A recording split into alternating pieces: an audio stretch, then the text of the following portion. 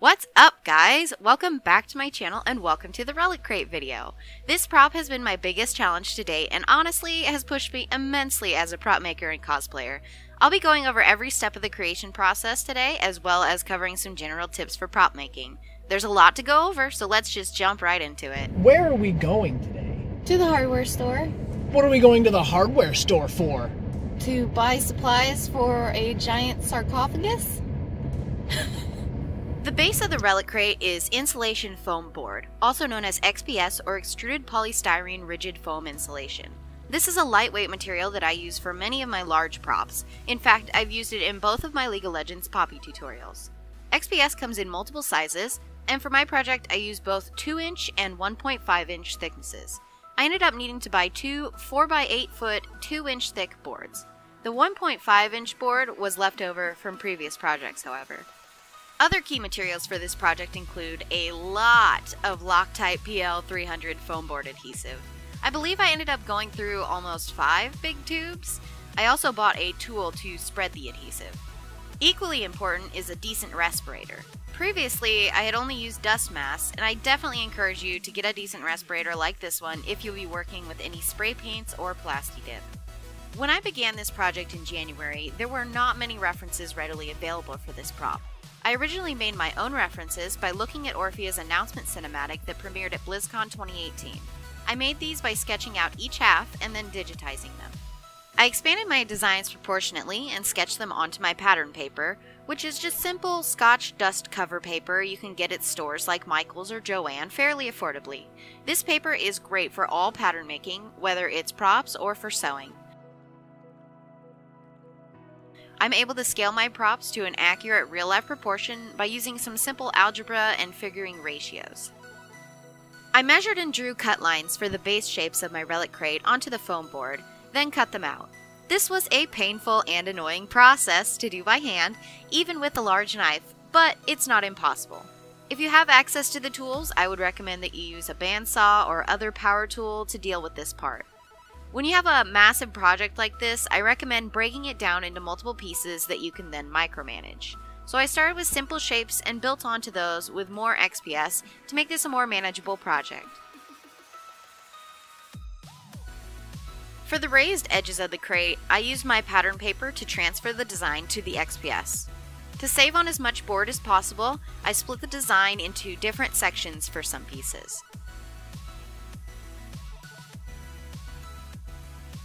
I marked out the center of the board for when I got to dremeling. Unfortunately, I don't have footage of my dremeling, as my setup was pretty difficult in the location I did most of it, as well as panic and worry that I wouldn't be able to finish on time, and so I apologize for that. But to kind of explain, I used a higher grit Dremel head for most of it, as XPS is fairly delicate when you're sanding it. After dremeling, I used various grits of sandpaper ranging from 50 up to 220 to get the board as smooth as I possibly could. With all the board pieces cut out and ready to be assembled, I used my PL300 foam board adhesive and spreading tool to glue all the board pieces together for the front and back. When doing this, you've got to be sure to put adhesive on both sides of the board for them to fully stick together reliably. I cleaned up the edges with a few wet paper towels. Seriously, don't be shy with the adhesive. If you aren't generous with it, it's likely that your boards won't fully adhere to each other. Before attaching the sideboards and actually building the crate, there was plenty more work to do. I sealed my XPS with several layers of wood glue, as well as created a 2mm foam inlay to cover the inner portion of the exterior and further protect my XPS board base. I used the PL300 adhesive once again to glue my 2mm foam inlay to the boards. So as you can see, I've got several layers of wood glue on here. Um, it is three layers on both sides, on both the top part and then the back of this. Um, however, I do have some holes here that need to be filled up.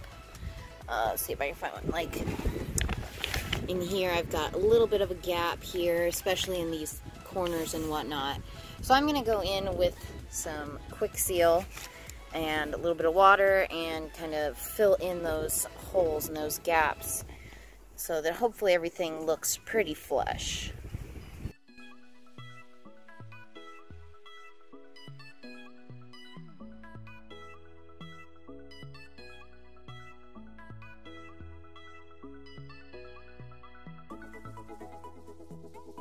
I did a mock-up of the sideboards and marked out holes for the handles as well as the dowel structure inside of the crate and the width of the boards for referencing when gluing. I then glued the sideboards in place on the back panel and covered them with 2mm foam, the same way as I did for the inlays on the front and back.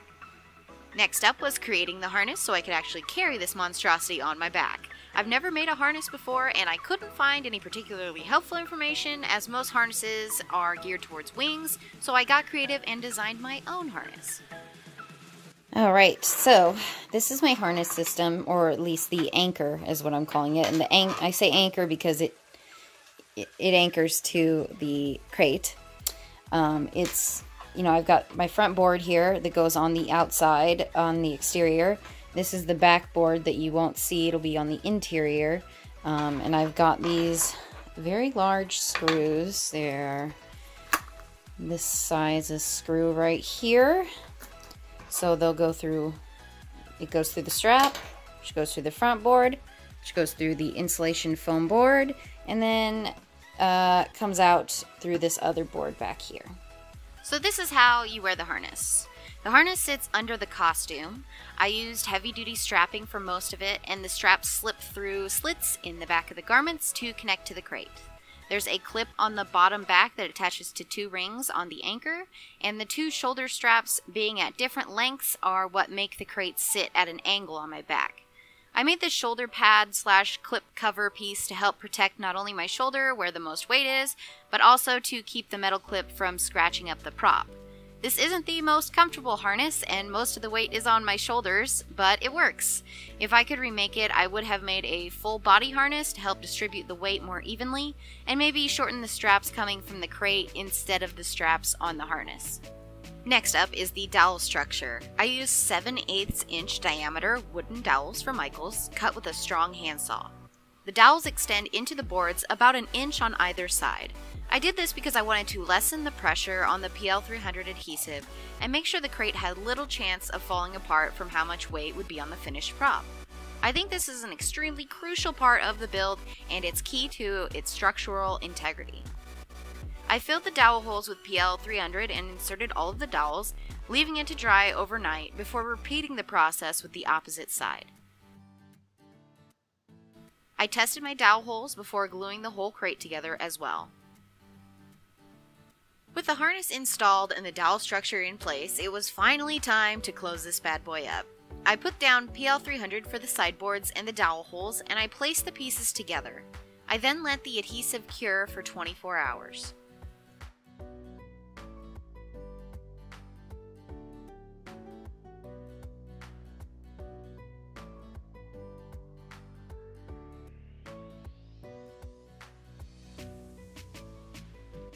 I created a box shape to connect the very tops of the crate out of L200, which is the gray foam, and 6mm EVA foam, which is the black one. I marked off where exactly it would sit and I used contact cement to adhere it. The only way I was able to use contact cement on top of my XPS board is because I sealed the board with multiple thick layers of wood glue first. Do not put contact cement directly on XPS, it will melt and destroy your project immediately. Then I was able to plasti dip. I went through many, many cans of Plasti Dip with this prop, not only for the crate itself, which took about one and a half cans per side, but also by using it for all of the details that go on the exterior of the crate. With the crate entirely coated with Plasti Dip, I masked off the edging so I could paint the inside with purple spray paint. You see me using actual masking tape here, but I did switch to blue painter's tape. The masking tape actually peeled up some of my Plasti Dip, but painter's tape was much more gentle and I didn't have that problem with it, so I would definitely recommend that instead.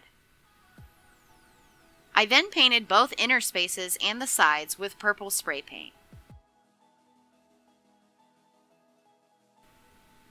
When the purple was done, I masked off the purple and I spray painted the gold.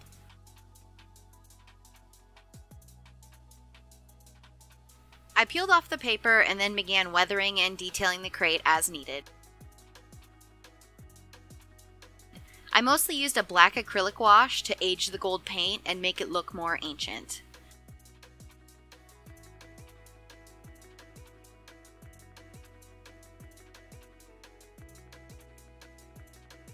For the part of the crate that sits against my back, there's wood detailing, so I added that with various shades of purple acrylic to create highlights and shadows.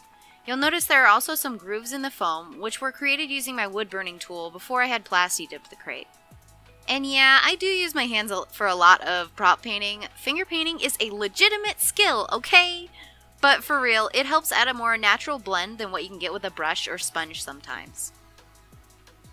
I then coated it with a lot of Mod Podge. I want to find a stronger sealer, but for now I have this giant vat of Mod Podge, so I just used what I had on hand, considering I was already very over budget for this cosplay. The next step was to add on all of the exterior details to the crate. I actually made these before I constructed most of the base crate itself. So for the bird heads, I started with two 10-inch diameter styrofoam half balls. These two bird heads have different designs and I used slightly different methods for them. I started by marking out the design on the bird heads. For the bird on the back of the crate, and by back I mean the side of the crate that sits against my back, I used mostly hand sculpted foam clay. I covered that ball in plastic wrap and sculpted the details on top of it. I then set my details aside to dry for roughly 48 hours. I made the eyebrow parts from L200 foam. For the front bird head, after marking out the details, I covered it in masking tape and traced the details onto the tape. I transferred the masking tape onto pattern paper and cut out the pieces. For this head, I used all L200 foam. I coated the styrofoam balls in about four coats of Mod Podge, which was a mistake. I should have used wood glue instead. There was some melting, but nothing too bad, luckily. I used a wood burning tool and Dremel to mark out the nostrils on each bird head. The back bird nostrils were added with a couple extra pieces of foam on the inside. I then filled in any gaps I could find with Kwik Seal. I gave them a couple coats of Plasti Dip and painted them. For all the crate details, I painted them using the same gold spray paint I used on the crate and I weathered with black acrylic. I finished by sealing with Mod Podge. Behind the front bird head and in the bird eyes, there are purple transparent pieces. For this, I used transparent Worbla called TranspArt, which I custom dyed with Rit DyeMore in the color Royal Purple. It turned out a bit more blue than I intended, so the way I fixed this was to color the battery powered lights inside of the crate with a pink Sharpie. Shockingly, this actually worked. Sharpie ink is an alcohol-based ink and will color plastic easily. I attached the transparent Worbla with hot glue and placed the bird head on top with Velcro. Next up, the handles. There are two types of handles on the crate, front handles and side handles. Both were made using a similar method and materials. The side handles have a 10mm EVA foam base and a thin dowel structure. I added some 2mm craft foam for support and structure. I created a EVA foam piece to wrap around the sides of the handles and beveled the edges so they would lay fairly flat together. I heat shaped those and then contact cemented it all together.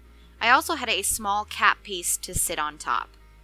I then used Kwik Seal to fill in any gaps I could find. For the front handles, I used a similar dowel structure and built on top of it with gray L200 foam. The accent on top is 2mm craft foam. Again, I did the whole plasti dip, paint, weather, and seal process to finish them off. To attach the handles, I used hot glue and let it cool down a bit before I inserted them into holes in the crate. I also put contact cement on the bottom of the handles to get them adhered just a bit better. Next up is the door details. These were made from 6mm EVA foam. I drew out the pattern and then added about 3 quarters inches to each side so they would raise up and be 3D.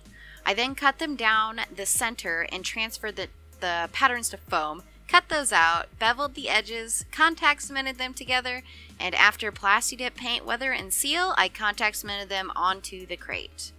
Near the top of the crate on the front and back are what I refer to as arch insets. This was definitely the hardest part of the crate to figure out. I decided to create foam pieces that I could set right on top of the edges. I did this by drawing them out with pattern paper and transferring them to 6mm EVA foam. I dremeled the foam very carefully to create beveled edges. I made the circles in the middle with foam clay, and then I just plasti dip, paint, weather, seal, and attached with contact cement. The top and bottom details, like this crown and these shapes, are a thick 12mm floor mat EVA foam. There are straps on the crate as well. I made these using a brown vinyl. Straps and belts are fairly simple to make. You basically just create your pattern, you cut out two for each strap, sew them wrong sides together, leaving a space open so you can flip them inside out, You flip them and then top stitch them together and close up the space you left. The buttons on the straps are the paper brad style buttons I used all over my cosplay, and the material I used mostly is Thibra. There's a buckle on this crate strap that's basically the same as the crossbody belt buckle, so I used the same pattern for each and just expanded the crate buckle. I created the eyelet by using my wood burning tool. I started with old belt buckles from the thrift store, which, by the way, don't buy brand new belt buckles. They cost like three to four times as much as ones you can find at the thrift store or Goodwill. I originally glued a 2mm foam backing to the buckle to hold it in place while I hand sculpted foam clay for the buckle itself. I let the foam clay dry for about a week, making sure to peel it off the back of the buckle and flipping it over so the inside could dry. I did a lot of hand sanding for these to get the correct arch and edge shapes. And of course, Plasti Dip paint, weather, seal, and I connected it to the strap and put them on. And there you have it. That's how I made Orphea's Relic Crate from Heroes of the Storm. I really hope you enjoyed this video. If you found something helpful, please leave a like and comment down below, as it really helps me grow my channel and reach more cosplayers like you. Overall, the crate took 150 hours to make, and the cosplay altogether took a total of 380 hours. If you want to see more of my work and follow me with my upcoming projects, I'll have my social media linked below. If you've got any questions or are looking for advice on a specific cosplay problem, you can always DM me over on Instagram and I'll be happy to help you out. Thank you so much for watching, and don't forget to subscribe for more cosplay content in the future!